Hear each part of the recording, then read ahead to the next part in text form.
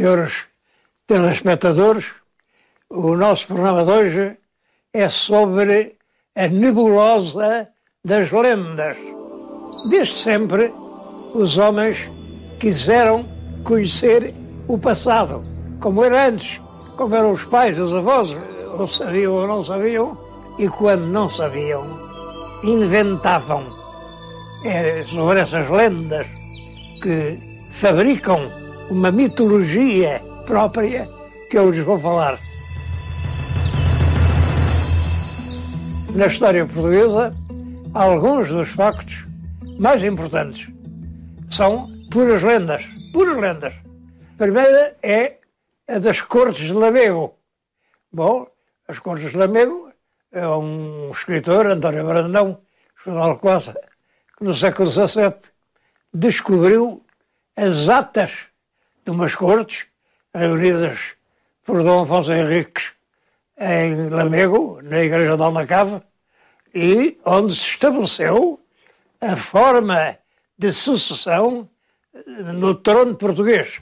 Está tudo rigoroso ali, contado.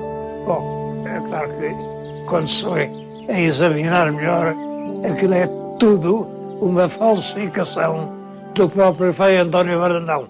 Inventou aquelas atas para mostrar que os Filipes não tinham direito a ser reis de Portugal. Se aquelas atas estão certas, os Filipes estavam mal. Mas a verdade é esta. As atas das Cortes de Lamego foram, até ao século XIX, consideradas a base jurídica da independência de Portugal. Nunca existiram. Nunca. Nem no tempo de Dom Afonso Henriques era possível reunir cortes. Outra época que também foi muito importante é a da Batalha e Milagre de Ourique. Essa lenda é muito antiga, muito antiga. Já no século XVI, o Dom Sebastião mandou fazer uma capela em lembrança da lenda. O Dom Pedro IV fez outra, o Dom João V fez outra. Bom, Ourique é a grande batalha dos alvores da monarquia. Bom, o que se diz é o seguinte, Dom Afonso Henriques foi, como de costume, fazer um fuçado na terra dos Mouros. Fuçado era uma expedição militar ligeira, com cavalaria ligeira, que percorria rapidamente as regiões e capturava pessoas, gado, géneros, saqueava e voltava à base carregada de valores. Isso fazia-se sempre na primavera, porque o rei, o nosso rei Dom Afonso Henriques, não tinha um exército permanente. O exército a quem desse ordens. Não. Ele o que tinha era a obrigação dos camponeses, os moradores dos conselhos, eh, fornecerem todos os anos, durante um certo tempo, que não curto, umas semanas, duas ou três semanas, serviço militar ao rei. Era uma obrigação municipal. E então vinham com os seus cavalos ligeiros, as suas lanças, e é, isso é que é as tropas dos passados. Ora bem, segundo a tradição, a Batalha do Brique teria sido no dia 25 de julho. 25 de julho é a altura de maior intensidade do trabalho agrícola, é a altura da ceifa, a altura da arrecadação do cereal, é a altura da arrumação de tudo, os frutos, tudo. Julho é um mês esgotante para os camponeses. Portanto, em julho não podia haver forçados. Isso é absolutamente certo. Não havia. Bom, a data está errada, é inventada. E é inventada por quê? Porque nunca houve nenhuma batalha de Ourique. Nunca houve. Os senhores telespectadores de Castro Verde não me levem mal, nem fiquem ofendidos comigo, mas a verdade é esta. Nunca houve nenhuma batalha de Ourique. Essa data inventada é a da Batalha de Clavijo. A Batalha de Clavijo é uma lenda espanhola. Também não houve, também não houve Batalha de Clavijo. Mas os espanhóis inventaram uma história, diz que Castela era obrigada a dar aos mouros, eh, todos os anos, 100 meninas, 100 donzelas, para os mouros povoarem os seus serralhos, os seus aréns. Bom, até que veio o rei Ramiro e disse, isso é indecente, não vamos dar as pequenas aos mouros. Recusou-se, mas isso atirou sobre ele um, milhares e milhares de mouros que o queriam obrigar, mas o rei Ramiro, aflito, aflito, pediu a ajuda de Santiago. Este dia é o dia de Santiago. Santiago, num cavalo branco, luminoso, desce do céu à terra e com uma espada de luz mata os mouros todos. É uma enorme vitória para os cristãos. Essa lenda também, já por sua vez, se inspira numa outra com milhares de anos, na lenda do Minotauro. Como sabem, o Minotauro também eh, consumia as crianças de Atenas e foi ao Teseu e, enfim, conseguiu acabar com esse péssimo costume. Quer dizer, tudo isto, lendas que se encadeiam umas das outras, até há milhares de anos. Até há milhares de anos. Bom, eh, a, nossa, a lenda do Eurico tem essa origem remotíssima. Eh, não há nenhum documento da época que fale isso, nem no século XII, nem XIII, é no século XIV é que começam uh, dois, dois escritores espanhóis, uh, o arcebispo de Toledo e Frei Lucas de Tui, nos seus livros, contaram a Batalha de Clavijo como passada em Espanha. Adaptaram-na à história espanhola e fizeram, contaram essa história, com o Santiago a aparecer e a prometer vitória. Daí passou aos autores portugueses que substituem o Santiago por Nosso Senhor Jesus Cristo. Quem aparece na Batalha do Rico é Cristo crucificado, rodeado por uma coroa de anjos luminosos e diz-lhe: Não temas, quem dá as vitórias ou as derrotas sou eu, e dá a quem tem razão. Ora, tu estás do lado bom, estás do lado da crença, estás do meu lado. Portanto, diz aos teus homens que podem estar descansados, porque eu dou-lhes a vitória a eles. Realmente, no dia seguinte, os cristãos, animados por esta promessa, ganharam uma grande vitória e, fim da qual, levantaram Dom Afonso Henriques aos ombros, aclamaram-no como rei e ele eh, prometeu logo ali eh, qual seria o futuro de Portugal, um futuro de uma nação descobridora, conquistadora e missionária, e tudo ali é Eurico. É claro que não há nenhum fundamento de verdade nisto. A verdade é que nem se sabia onde era Eurico, e é curioso que no século XIX fez-se um grande monumento à Batalha de Eurico, mas fez-se ali ao pé do Cartacho está lá, um grande monumento. Depois vieram outros escritores e disseram, não, ali não pode ter sido, foi em Eurique. Eurique é uma vasta região do Baixo Alentejo, tudo aquilo se chama Eurique. Foi ali, com certeza. E hoje é nesta região de Castro Verde que se situa as comemorações da Batalha de Eurique.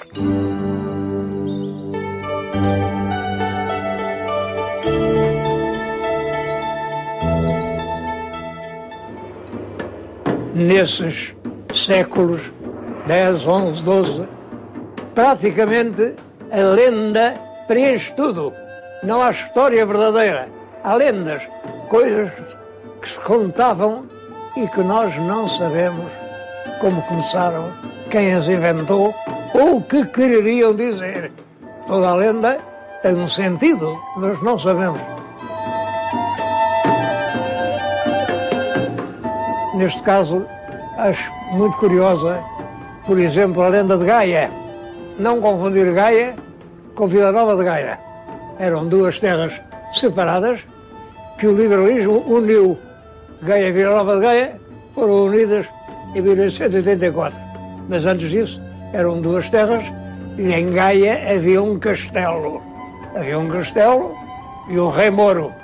E esse rei raptou a mulher do rei cristão. Foi lá, apanhou-a e levou-a para o castelo dele. E passou a viver com ela. E parece que se dava muito bem. Bom, apesar dela ser cristã e dele ser moro.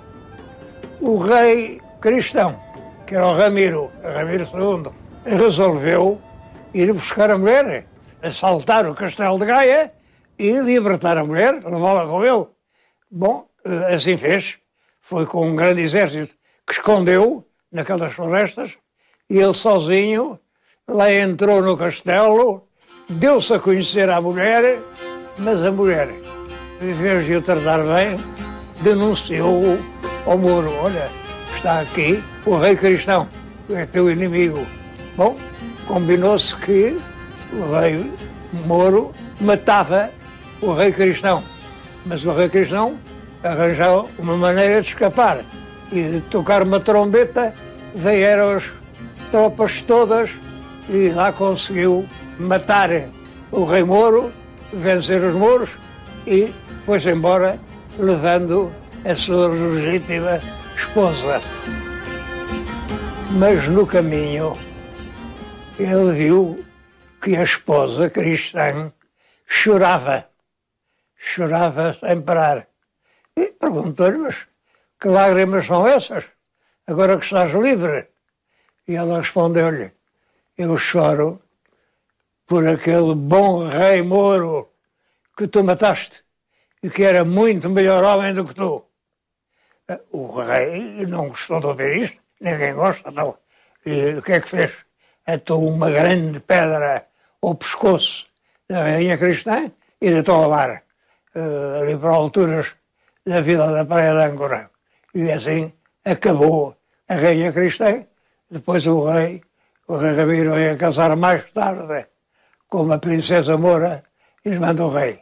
Mas o sentido desta história é estranho. Porque quem era bom parece que eram os mouros, quem era mau parece que eram os cristãos. Ora, esta história é inventada pelos cristãos, por os contadores de histórias que andavam de palácio em palácio, de vila em vila, terreiro em terreiro, a contar histórias e depois uh, recolhiam as esmolas uh, das histórias que contavam.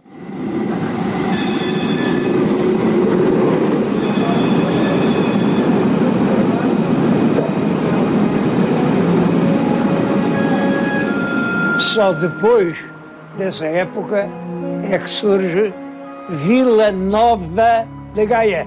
A Vila Nova porque já existia a Vila de Gaia, com o seu castelo, e depois aparece a Vila Nova no tempo de Dom Afonso III já. A Vila Nova é mesmo dentro do Porto. E ele queria fixar ali o comércio dos vinhos. Os barcos desciam o Douro e paravam em Vila Nova Ainda hoje, em Vila Nova de Gaia, há imensos armazéns de arrecadação do vinho do Porto. Isso deve-se a Dom Afonso III, que queria assim retirar ao bispo os rendimentos que vinham desse comércio.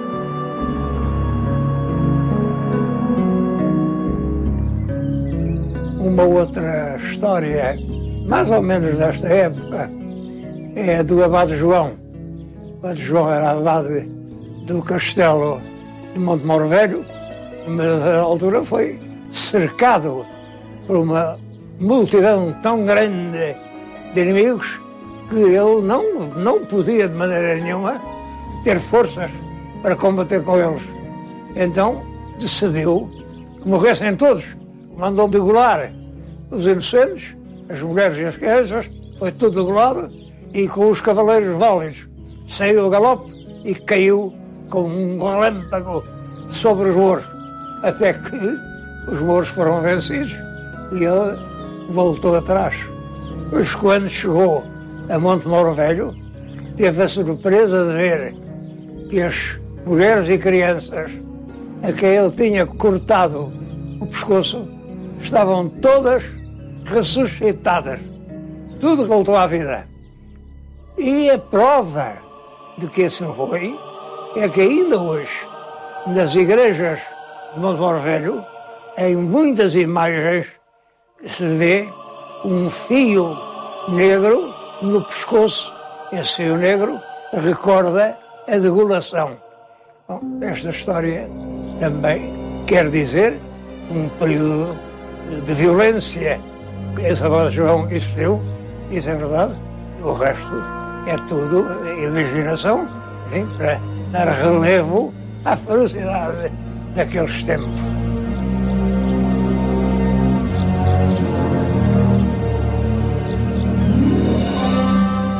Uma outra lenda desses primeiros tempos é a da Nazaré, de Dom Fuas ao Pinho. Bom, Nazaré é o nome de uma cidade da Palestina, perto de Belém, e onde Jesus Cristo nasceu. Portanto, uma cidade sagrada para os cristãos. E a lenda diz que lá um escultor, num bocado de madeira, fez a imagem da própria Virgem Maria. Fê-la de frente, fê-la com a viu. Portanto, é uma imagem verdadeira. Essa imagem deu muita volta, não vou agora contar como. Quando vieram as invasões mouras, foi escondida num buraco entre os rochedos do sítio da Nazaré. E foi lá que os pastores a descobriram mais tarde. O sítio ainda hoje se chama apenas o sítio. Sítio de quê? O sítio onde estava a Senhora da Nazaré, a Senhora esculpida em Nazaré. Ora bem, essa senhora era milagrosa e foi ela que salvou da morte o Dom Foz Roupinho, que era o alcaide-mor de Porto Mós e que andava ali uh, à caça, à rédea solta, atrás de uma bela corça que apareceu e que era o diabo. Ele é que não sabia. Portanto, foi a cavalo, a cavalo, atrás do bicho, o bicho correga como uma seta até que se precipitou no abismo. E o cavalo, que já estava a saltar para o fundo, quando Dom Fuas disse: Valha-me a Senhora da Nazaré. A senhora fez estacar o cavalo, o cavalo fincou as patas, ainda hoje lá está o sinal de uma pata do corcel Dom Fuas Roubinho. E Dom Fuas salvou-se milagrosamente. Esta lenda, que é provavelmente uma invenção dos fratos de Alcobaça no século XV ou XVI, não é mais antiga, tem como única base a tal patada do rochedo, que se pode ver e hoje Nazaré é um dos grandes centros do culto mariano em Portugal. Todos os anos, no verão, há uma enorme manifestação de festa à Senhora da Nazaré.